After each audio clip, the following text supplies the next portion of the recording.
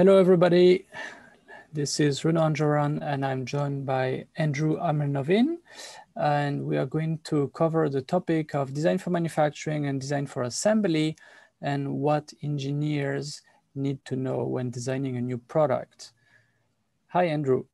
Uh, so what does it mean, design for manufacturing?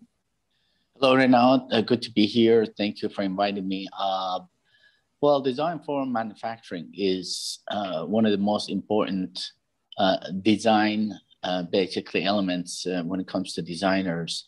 Uh, that is where uh, you want to make sure that design is manufacturable, easy to manufacture, and you want to implement um, a system of design so that there's only one way for the user at the end uh, end user to be able to use the product.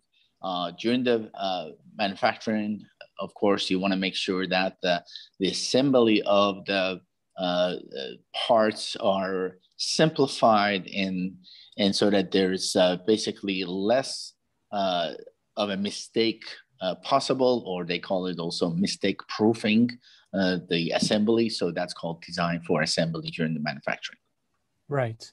And so you also cover design for assembly. Actually, design for manufacturing, usually people say that when it comes to the fabrication of parts and design for assembly is how to put it together. But really the, Correct. the principles, the approach is, uh, is pretty similar. So let's cover uh, a few, a, few, um, a few things that designers need to keep in mind. And the first one is that when you design custom parts, that are not standard off the shelf, they're not available right there uh, out there in the market, they actually can be fabricated with the process that you have in mind for mass production. Uh, does that make sense?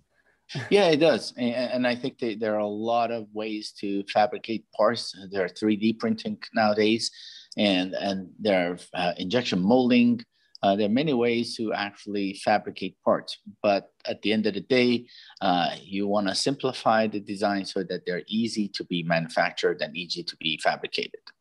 Right, at the intended volume, right? So you mentioned 3D Correct. printing versus plastic injection molding. Correct. If you, if you want to make 50 pieces, maybe 3D printing is going to be fine. But if mass production is going to be batch, batches of 10,000, you get to think of um, injection molding, right? Absolutely. Uh, the, the second one is a related point is whenever you can, do not custom design some parts. Whenever you can, if you can find standard off the shelf uh, products on the market, use them and simplify your product. Uh, remove the risks, remove the extra cost, remove the, the, the, the, time to make the molds and so on and so forth. Uh, do, do you have an example or do you want to go deeper into this? Yeah, that's correct, Renaud. Uh, nowadays, a lot of the components uh, and so-called off-the-shelf parts are pretty much uh, approved uh, in terms of technology, in terms of production, and they are very much improved uh, compared to 10, 20 years ago in terms of reliability and quality. So uh, a lot of these, uh, uh, and, and you have a lot of different kind of parts that are standardized nowadays.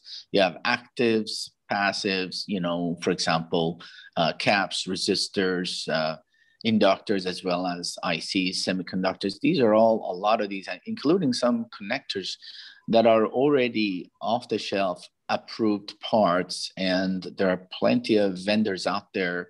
And a lot of times these parts are readily available and in stock. So there's no need to uh, uh, redesign or reinvent the wheel per se. And you just need to contact the supplier of your choice and uh, get some samples and try it in your design. And then if it works you can actually and get a good deal, cheap, readily available parts right away. Right. So um, obviously, if you need a very nice, let's say, enclosure with your own design, uh, you're not going to find that out of in the market. But especially for internal parts, as much as possible, uh, try to go standard off the shelf. Will save you some time, some uh, some money, and reduce the risk actually quite a bit. Right. Exactly. The next point, um, when you design the product, as early as possible, you need to think, okay, how is this could, going to be made with what production process and what's the material going to be? Uh, and some people come to us and they say, well, there's probably going to be some plastic, but aluminum might be okay also, and so on. And they, they really haven't thought through this. So the design is far, far, far from complete. Uh, does that make sense? Uh, yes, it does. I, think that uh, this is where collaboration with different uh, uh functions within the team is extremely important. Uh, I think designers need to be in touch with the ID department, industrial design team, uh, as well as the program managers, customer requirements. And really, at the end of the day, they need to understand how this product is going to be used at the end. So needs to be designed with the processes and materials that are in hand in mind so that uh, everything will move uh, sm- smoothly. Absolutely. The next point is think also of the color and finish.